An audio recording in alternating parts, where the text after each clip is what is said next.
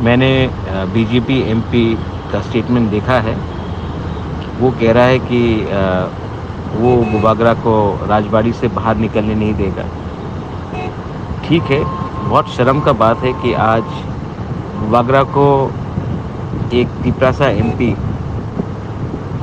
Tiprasa area में रुक नहीं सकता है तो अगरतला में रोकने का कोशिश कर रहा ये एक बात साबित साबित करता है कि इनके पास तिपरासा एरिया में कुछ सपोर्ट नहीं है। चलो, शेर को रोकने का कोशिश करो। शेर रुकता नहीं है। कोशिश कर सकते हैं। करो, मैं चैलेंज करता हूँ। रोकने की कोशिश करो।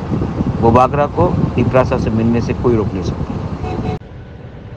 कल पुलिस का लाठीचार्ज देख के तुईदू में हमारा बूमा बुरुई बदल के ऊपर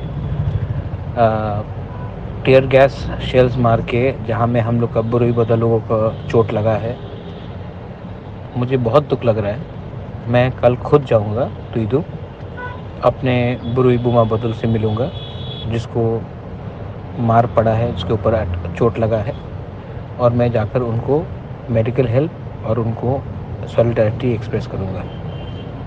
बहुत शर्म का बात है कि आज हमारे ही बुरी बुमा को ये लोग अटैक कर रहे हैं।